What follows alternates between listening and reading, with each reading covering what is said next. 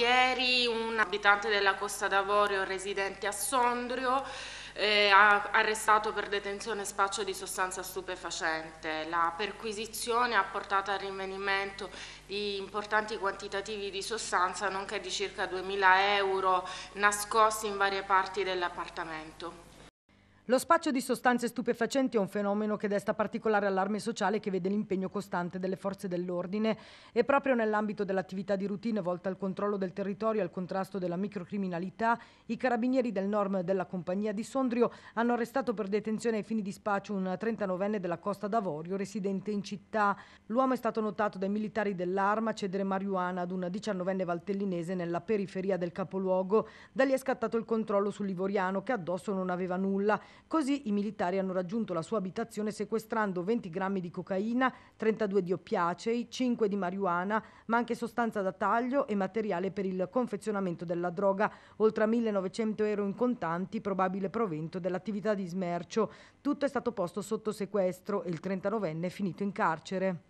L'attenzione ormai è massima per questa diffusione di sostanze stupefacenti militari, in, anche in abiti borghesi, con macchine civette per lustra nel territorio in maniera importante.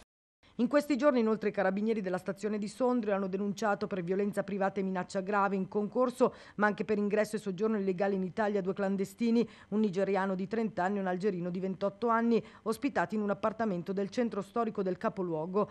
L'attività è partita dalla denuncia di un marocchino trentenne sequestrato per 24 ore che da Torino ha raggiunto Sondrio su consiglio di un amico proprietario dell'abitazione dove vivevano i due stranieri, ma fuori città per qualche giorno. Il nigeriano e l'algerino infatti appena arrivato il marocchino lo hanno hanno chiuso a chiave nell'appartamento minacciandolo con un coltello per impedirgli di uscire. Il trentenne, approfittando di un momento di distrazione dei due, è riuscito ad impossessarsi delle chiavi di casa, abbandonando l'appartamento per andare in caserma e raccontare quanto subito.